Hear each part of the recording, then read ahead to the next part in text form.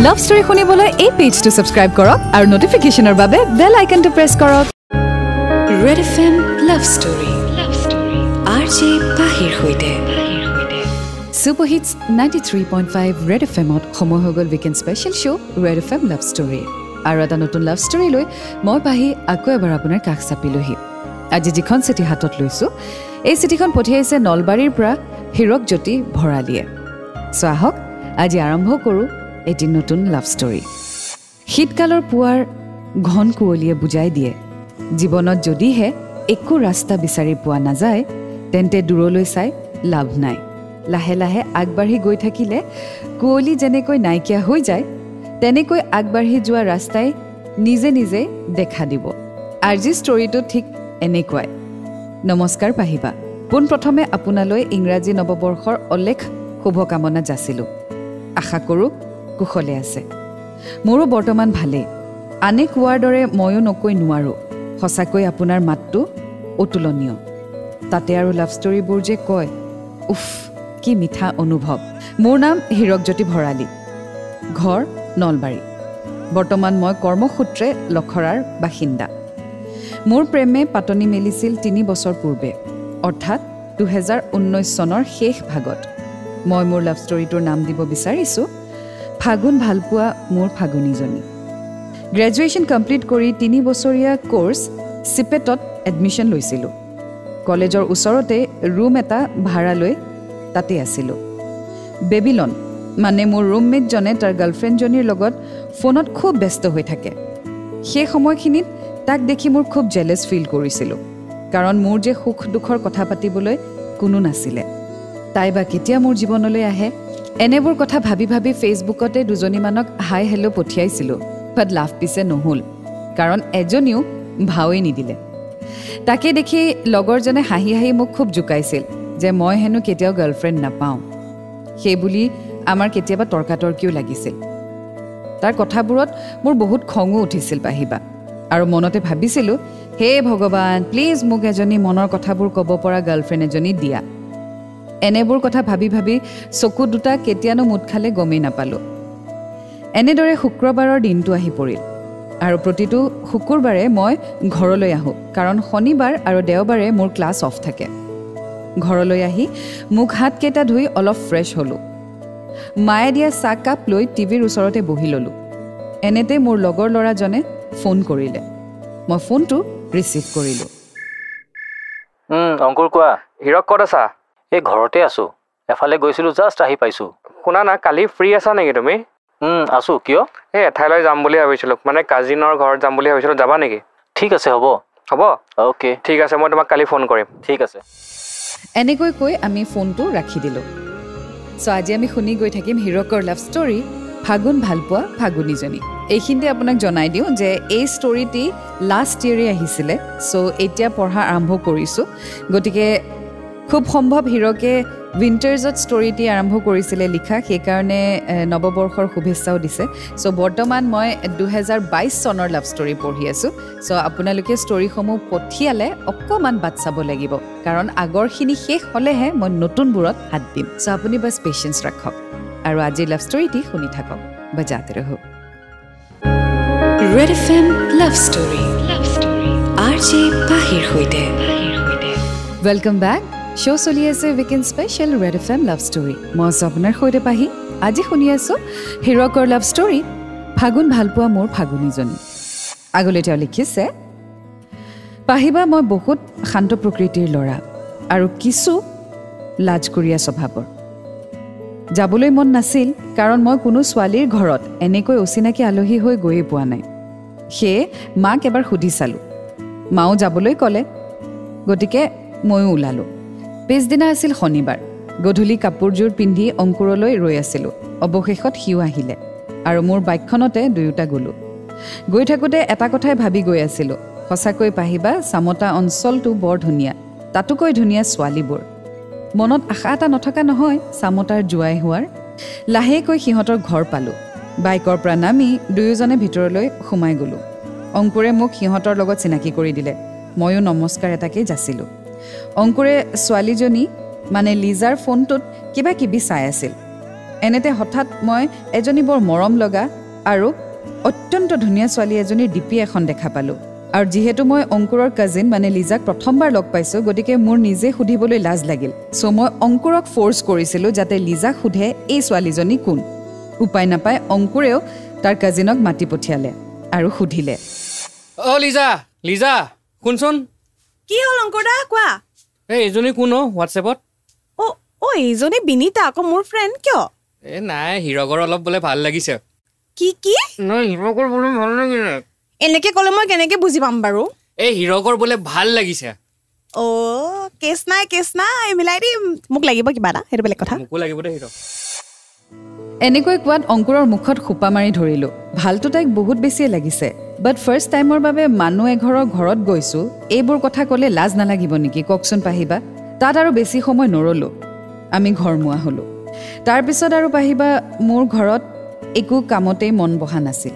কেৱল তাইৰ সেই ধুনীয়া মৰম লগা মুখখনিয়ে বাৰে বাৰে মোক আমনি কৰি আছিল। তাইৰ নামটো দুবাৰমান সৰু সৰুকৈ মুখৰ ভিতৰতেই লৈ আছিলোঁ। ইমান সৰুকৈ ক'লোঁ তথাপিওনো মায়ে কেনেকৈ শুনা পালে? হঠাৎ মায়ে মাত দি পেলাই মোক সুধিছিলেও কোন ছোৱালীৰ নাম লৈ আছ? ময়ো এনেই গান এটা গাই আছোঁ বুলিহে ক'লোঁ। সেইদিনা ভাল বাচিলোঁ মাৰ হাতৰ পৰা। এনেকৈয়ে কেইদিনমান পাৰ হৈ গ'ল। চ' হীৰক আৰু হীৰকৰ ফ্ৰেণ্ড অংকুৰ তেওঁলোকৰ কাজিনৰ ঘৰত গৈছিলে। মানে লিজাৰ ঘৰত গৈছিলে। লিজাৰ ফোনত এজনী ছোৱালী ডিপি দেখিলে খুব বেছি পচন্দ হ'ল আৰু সেই ছোৱালীজনী কোন? সোধ পোছ কৰাত গম পালে যে লিজাৰ ফ্ৰেণ্ড হয়। গতিকে এতিয়া এই ষ্টৰীয়ে কোন দিশে আগবাঢ়ে জানিবলৈ অকণমান অপেক্ষা কৰক এণ্ড্ৰইড এফ এম বজাতে ৰহো। Red F M love story. R J পাহিৰ সৈতে।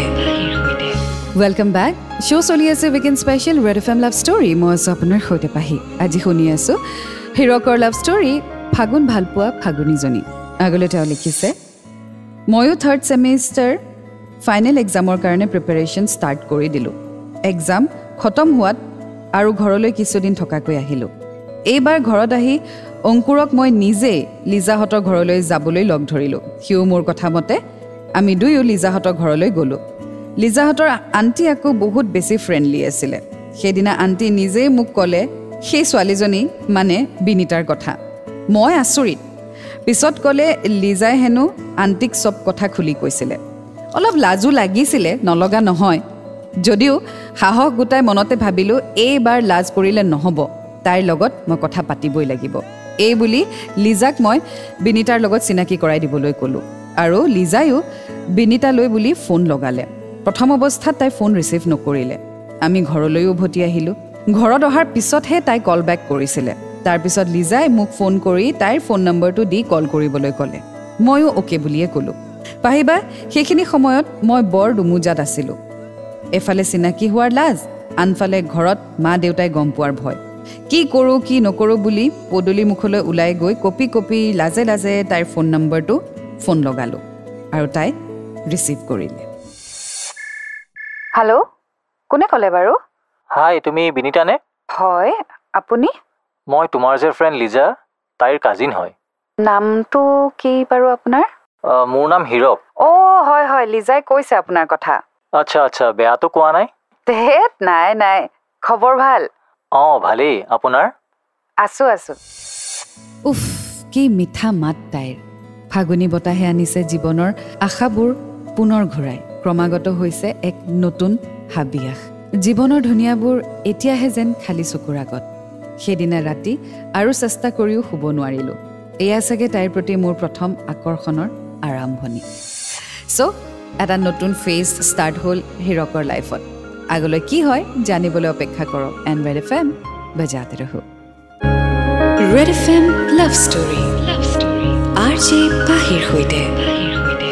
Welcome back to the show' Red F M love story মই আছোঁ আপোনাৰ সৈতে পাহি আজি শুনি আছোঁ হিৰকৰ লাভ ষ্টৰী ফাগুন ভালপোৱা মোৰ ফাগুনীজনী। আগলৈ তেওঁ লিখিছে দুদিনমান পাছত আমি লগ পোৱাৰ কথা আছিল পিছে নহ'ল। তাইৰ হেনো বি এ থাৰ্ড ছেমিষ্টাৰৰ ফাইনেল এক্সাম ষ্টাৰ্ট হ'ব দুদিন পিছতে। ময়ো বেছি জোৰ নকৰিলোঁ। তাইক পিছে ফোনতে তাইৰ কথাবোৰ সকলো সুধিলোঁ আৰু তাইও তাইৰ জীৱনৰ কিছু কথা মোক ক'লে। তাইৰ লগত কথা পাতি গম পালোঁ যে তাই এজনী খুব ধুনীয়া ডান্সাৰ ডান্স কৰা ভিডিঅ' মই তাইক খোজোতে তাই মোক বিভিন্ন অনুষ্ঠানত ডান্স কৰা ভিডিঅ' পঠিয়ালে। কি অদ্ভুত তাইৰ নৃত্য। এক্সপ্ৰেশ্যন ষ্টেপছ জাষ্ট ৱাও তাইৰ নৃত্যবোৰে তাইৰ প্ৰতি মোক আৰু বেছি এট্ৰেক্ট কৰি পেলাইছিল। সেইদিনা ৰাতি তাইক ফোন কৰিলোঁ। তাই ৰিচিভ কৰিলে। অ হিৰক দা কওক। কি কৰি আছা? এনেই আছো। আপুনি? ময়ো এনেই আছোঁ। আচ্ছা এটা কথা কোৱাচোন। মোক বাৰু বহুত এজেড যেন লাগে নেকি? নাইতো কিয় সুধিলে বা? মানে তুমি আপুনি আপুনি কৈ আছা যে চ' নিজকে আংকল যেনহে ফিল হৈছে। অ সেইটোহে কথা। হ'ব বাৰু তুমি বুলি মাতিম। ঠিক আছে? এইয়াহে অ' শুনাচোন কথা এটা আছে। উম, কোৱা। এই মেছেজতে কম দিয়া। ৱা কি মানুহ অ। ফোনটো লাগিয়ে আছে ইয়াতে কোৱা। Okay bye bye bye. এনেকৈ কৈ ফোনটো কাটি দিলোঁ আৰু লগে লগে তাইক টেক্সট কৰিলোঁ। লিপিকা এটা কথা কোৱাচোন তোমাৰ বাৰু কোনোবা বয়ফ্ৰেণ্ড আছে নেকি? এনেকৈ মেছেজটো দি ফিংগাৰ ক্ৰছ কৰি বহি আছিলোঁ। কিছু সময়ৰ পিছত ৰিপ্লাই আহিলে। চাই দেখোঁ নো পাহিবা কি ক'ম আপোনাক? সেইখিনি সময়ত কেইজাপমান মাৰিয়ে ল'লোঁ। আচলতে মোৰ জীৱনত এনেকুৱা এটা এক্সপিৰিয়েঞ্চ প্ৰথমবাৰৰ বাবে হৈছে। সেইবাবে অ'ভাৰ এক্সাইটেড হৈ পৰিছিলোঁ। তাই আকৌ মোক কিয় কথাষাৰ সুধিলোঁ বুলি সোধাত মই মনত অকণমান সাহস গোটাই চিধা চিধি ফোনেই কৰিলোঁ। হেল্ল' লিপিকা? কোৱা। আকৌ ফোন কৰি ডিষ্টাৰ্ব দিলোঁ। নাই একো নাই কোৱাচোন কোৱা। আচলতে ফোন কৰি কোৱাটো মই বেছি বেটাৰ বুলি ভাবোঁ। হা বুজি পালো চ কথাটোতো কোৱা। মানে মই ভবাৰ মতে তুমি নাভাবিবও পাৰা। এতিয়া সঠিক সময় হয়নে নহয় সেইটোও নাজানো। কিনো বকি আছোঁ মই নিজেও নাজানো। লিপিকা আই লাভ ইউ সেইখিনি ক'বৰ কাৰণে বাপৰে বাপ। আচ্ছা মোক অকণমান সময় দিয়া। মই এনেকে ঘপককে তোমাক উত্তৰটো দিব নোৱাৰো। অকণমান টাইম দিয়া। হ'বনে? হ'ব। এনেকৈ কৈ তাই ফোনটো কাটি দিলে। সেইদিনা আৰু আমাৰ মাজত কথা নহ'ল। মনত এটা আশা লৈ নেক্সট ডে ৰুমলৈ উভতিলোঁ। চ' হিৰকে নিজৰ মনৰ কথা এক্সপ্ৰেছ কৰিলে। এতিয়া বিনীতাই কি উত্তৰ দিয়ে জানিবলৈ অকণমান অপেক্ষা কৰক। এণ্ড ৰেড এফ এম বাজাতে ৰহো। Red F M love story R J পাহিৰ সৈতে। শ্ব' চলি আছে weekend special Red F M love story মই আছোঁ আপোনাৰ সৈতে পাহি। আজি শুনি আছোঁ হিৰকৰ লাভ ষ্টৰী ফাগুন ভালপোৱা মোৰ ফাগুনীজনী। আগলৈ তেওঁ লিখিছে দুদিনমান পাছত তাই মোক ফোন কৰিলে। ভয়ে ভয়ে ফোনটো ৰিচিভ কৰিলোঁ। হেল্ল' বা কি খবৰ অ? খবৰে নোহোৱা হ'ল তোমাৰ। মোৰ এক্সামো শেষ হ'ল। তুমি খবৰে নোলোৱা হ'লা। আছোঁ দিয়া। তোমাৰ কি খবৰ? আছো। পিছে এক্সাম কেনে গ'ল? মোটামুটি চলি যায় আৰু। হেৰি নহয় তোমাক যে কথা এটা কৈছিলোঁ ৰিপ্লাইটো কি নাপামেই নেকি? কিবা কৈছিলা নেকি? পাহৰিলো দেখোন। কি কৈছিলা? হে দুষ্ট ছোৱালী প্লিজ ৰিপ্লাই এটাতো দিয়া য়েছ অৰ ন' তোমালোক মানে ল'ৰাবোৰ একেই মানে কথা পাতিলে প্ৰপ'জ কৰিবই লাগিব ন?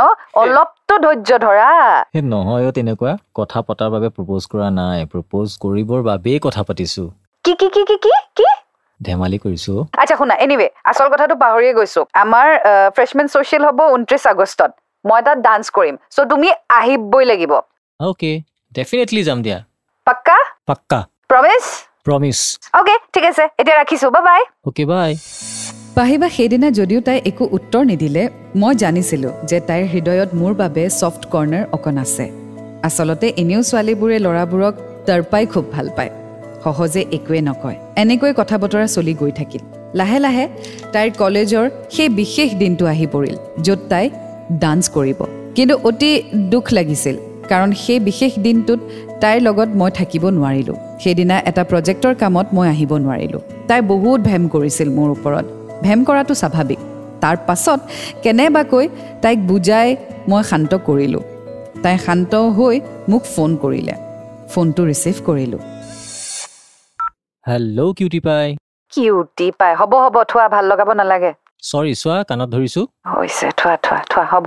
আচ্ছা এটা নিউজ দিওঁ নেকি তোমাক? কি নিউজ দিবা একেবাৰে? কোৱা। কালিলৈ আবেলি ঘৰলৈ যাম আৰু তোমাক লগ পাম। সঁচা? সঁচা। তোমাক কি লাগিব? হ'ব আৰু যদি তুমি ভাবিছা তুমি আহিলেই হ'ব বুলি ক'ম বুলি সেইটো মিছা কথা। মোলৈ চকলেট আৰু লালমোহন লৈ আহিবা। অ'কে চিয়'ৰ ঠিক আছে লগ পাম কাইলৈ। বাই বাই বাই পাহিবা আপোনাক কি ক'ম? তাই মিঠাই বহুত ভাল পায় স্পেচিয়েলি লালমোহন। মনটো বহুত ভাল লাগি আছিল পাহিবা। প্ৰথমবাৰৰ বাবে তাইক লগ পাম। কাইলৈ কি পিন্ধিম কেনেকৈ তাইৰ লগত কথা পাতিম এইবোৰ কথাকে ভাবি আছিলোঁ। ইনফেক্ট বেবিলনৰ লগত ডিছকাছ কৰি ৰাতি বাজ ভাগ কেতিয়া পালে গমেই নাপালোঁ। সি উপায় নাপাই মোক ধমক দি শুই থাকিবলৈ ক'লে আৰু নিজেও শুই থাকিলে। চ' এক্সাইটমেণ্ট হৈছে হিৰকৰ যে ফাৰ্ষ্ট টাইম বিনীতাক লগ পাব। এণ্ড অবভিয়াছলি সেই এক্সাইটমেণ্ট লেভেলটো সঁচাকৈ বেলেগ হয়।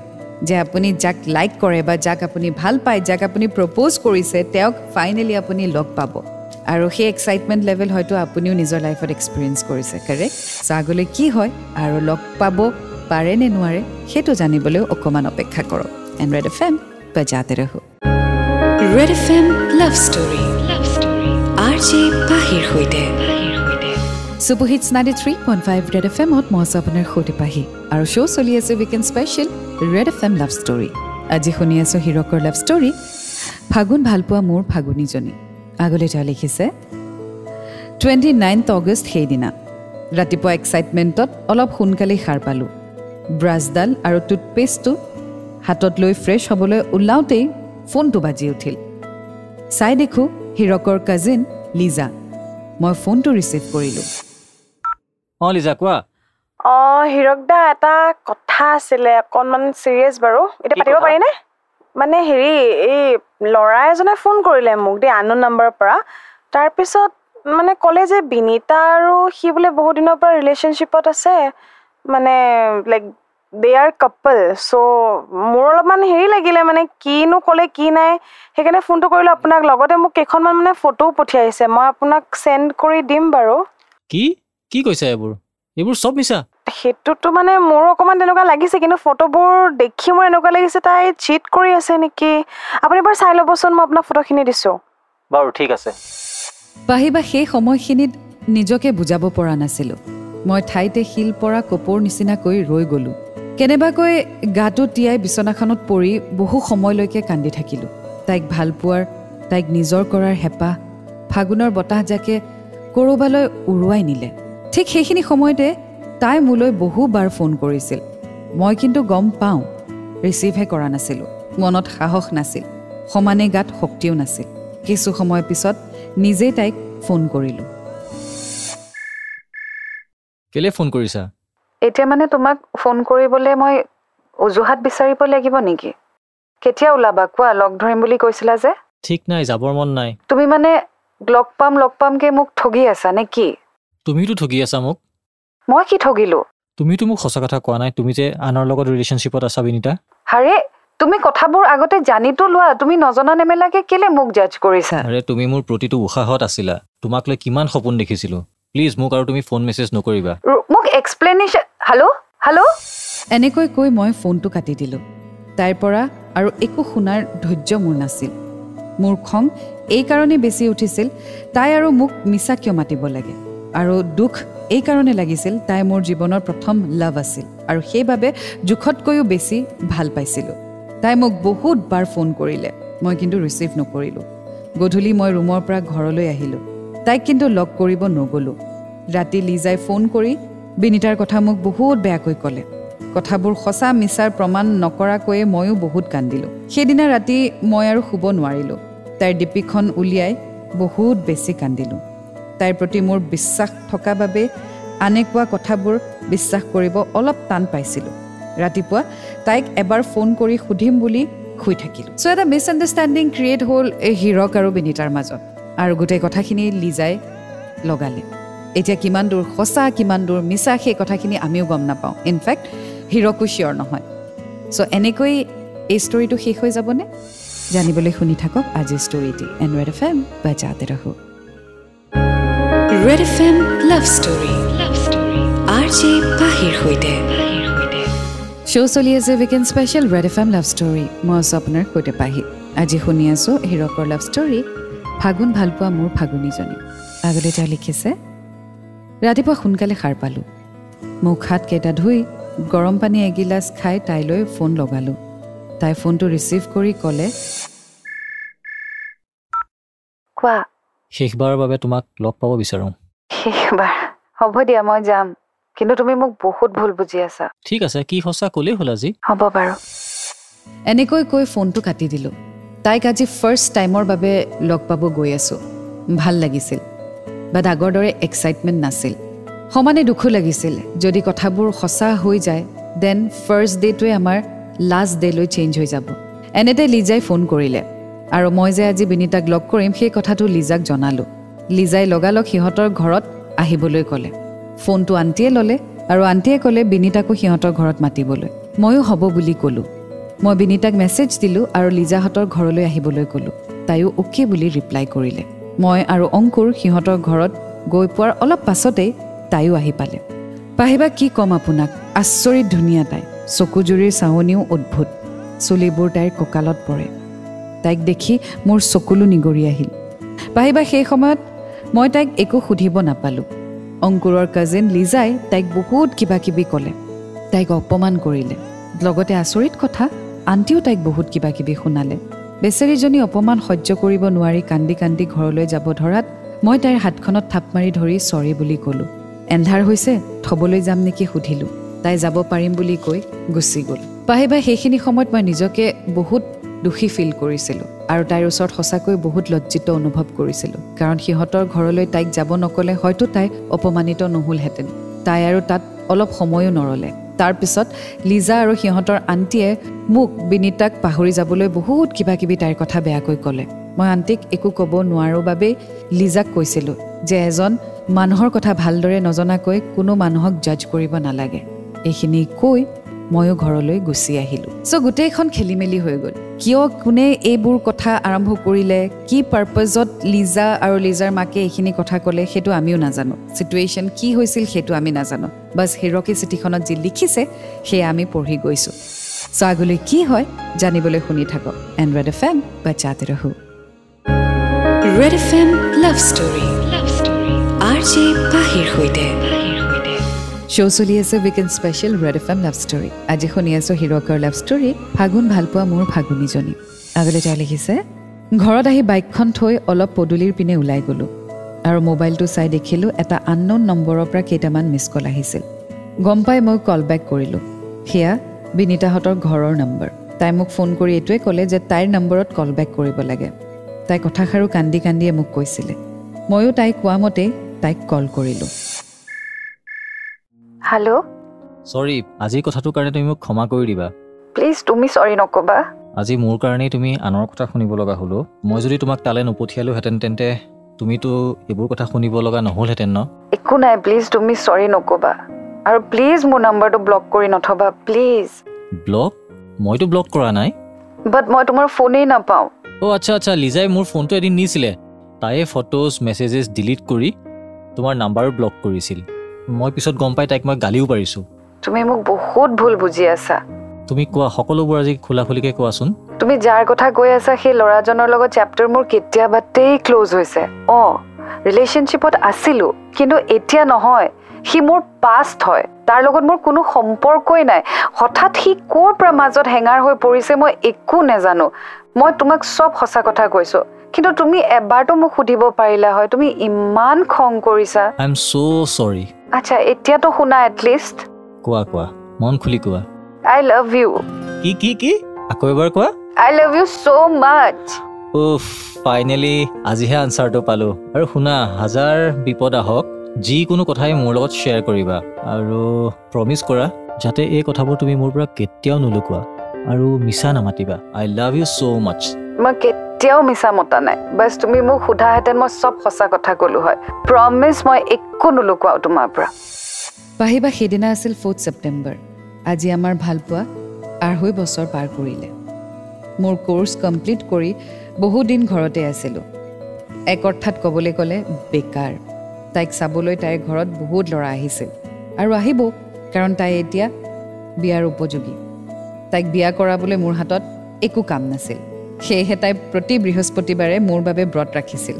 আৰু হয়তো তাইৰ ভক্তিত সন্তুষ্ট হৈ ভগৱানে মোক এটা কৰ্ম সংস্থাপনৰ বাট দেখুৱালে। আৰু বৰ্তমান মই গুৱাহাটী লখৰাত কৰ্মৰত।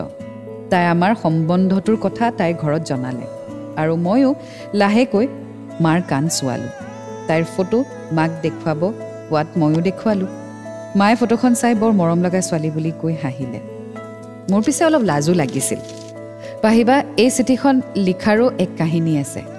তাই আৰু মই ৰেষ্টুৰেণ্টত বহি হাতত একাপ একাপ কফি লৈ মোৰ মনৰ কথাবোৰ কৈ গৈ আছোঁ আৰু তাই চিঠিখনত লিখিত ৰূপ দি গৈ আছে। প্ৰায় তিনিদিন লাগিছিল কমপ্লিট কৰোঁতে। যিহেতু বেছি সময় ৰেষ্টুৰেণ্ট এখনত বহি থাকিব নোৱাৰি সেয়েহে তিনিদিনমান যাবলগীয়া হৈছিল। চিঠিখন লিখোঁতে দুবাৰমান তাইৰ চকুলো ওলাইছিল। পাহিবা তাইৰ নিচিনা পাৰ্টনাৰ এজনী পাই মই বহুত হেপ্পী। চিঠিখন বহুত দীঘলীয়া হ'ল। মই বুজিছোঁ কিন্তু কি কৰিব কথাবোৰচোন শেষেই নহয়। পাহিবা আমাৰ বিয়াত আপোনাক স্পেচিয়েলি ইনভাইট কৰিম আৰু আপুনি কিন্তু আহিবই লাগিব। আশীৰ্বাদ কৰিব পাহিবা যাতে আমাৰ সপোনবোৰ সাৰ্থক হয়। এতিয়া আপোনাৰ ভাইটি Hirakjyoti Bharali. Thank you so' much Hirak for sharing this beautiful story আৰু তোমালোকে বহুত কষ্ট পাৰ কৰিলা but destiny had its choice আৰু তোমালোকে নিজৰ ষ্টৰী ছাকচেছফুলি কমপ্লিট কৰিবা আৰু সেইটোৱে ডেষ্টিনিত লিখা আছিল চ' যিখিনি বাধা আহিছিল সেইখিনি তোমালোকে পাৰ কৰি আজি ইমান সুন্দৰকৈ আগুৱাই গৈ আছা so' I wish you all the best আৰু বাছ হয়তো এয়াই শেষ নহয় আৰু হয়তো বাধা বিঘিনি আহিব পাৰে but I hope you both will overcome successfully because your love is very much pure and strong. So I wish you all the best. And thank you so much again for sharing your story. এয়া আছিলে আজি হিৰকৰ love story ফাগুন ভালপোৱা মোৰ ফাগুনীজনী। এটা নতুন ষ্টৰীৰ সৈতে আকৌ লগ পাম। Until then do fall in love it's a great feeling you will get to learn a lot and always remember I love you and Red F M বজাতে ৰহো তিন ডট পাঁচ বজাতে ৰহো